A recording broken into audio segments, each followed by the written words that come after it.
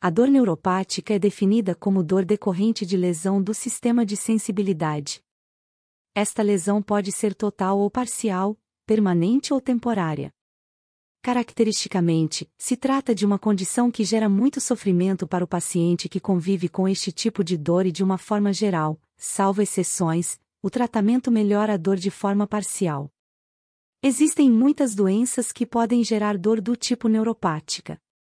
Os principais exemplos são a neuralgia do trigêmeo, neuralgia pós-herpética, dor central após acidente vascular encefálico, polineuropatia diabética, dor no lesado medular, dor após lesão do plexo braquial e assim por diante. A característica da dor neuropática é diferente das dores gerais, que são chamadas de nociceptivas.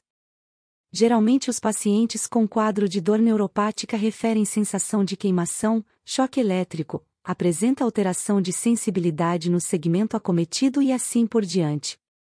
Ou seja, é uma sensação desagradável, porém diferente dos quadros dolorosos gerais.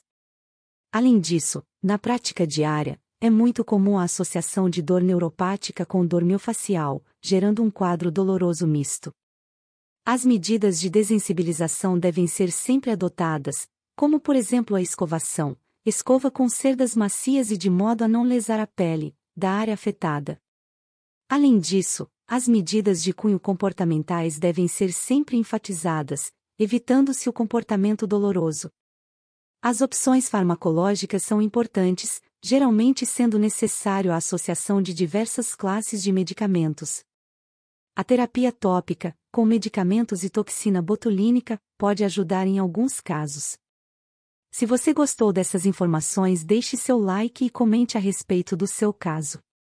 Não se esqueça de se inscrever se não é inscrito ou inscrita no canal. Compartilhe o vídeo ou e segue nossas outras redes sociais que está abaixo na descrição do vídeo. Um grande abraço e fiquem todos com Deus.